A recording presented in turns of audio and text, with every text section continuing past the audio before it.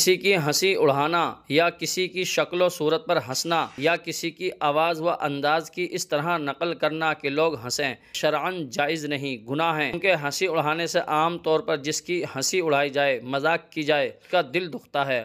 اور اسلام میں دوسروں کو تکلیف پہنچانا جائز نہیں۔ ہنسی اڑانے والے کے دل میں غرور اور تکبر پایا جاتا ہے۔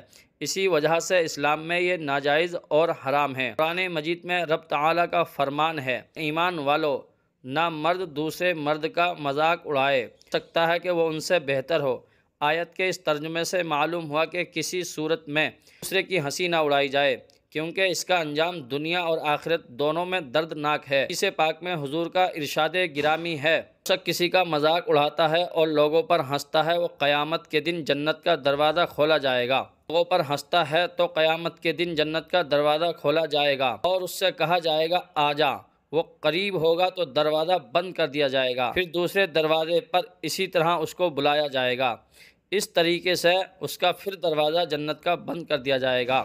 یہاں تک کہ وہ رنج و غم کے مارے ترستا رہے گا۔ یہ ایک قسم کا اس کے ساتھ مذاق ہوگا اور اسے احساس دلایا جائے گا کہ دوسروں کا مذاق اڑانے کا یہ انجام ہے۔ ناظرین، کسی کی ہنسی اڑانے کا یہ انجام ہے۔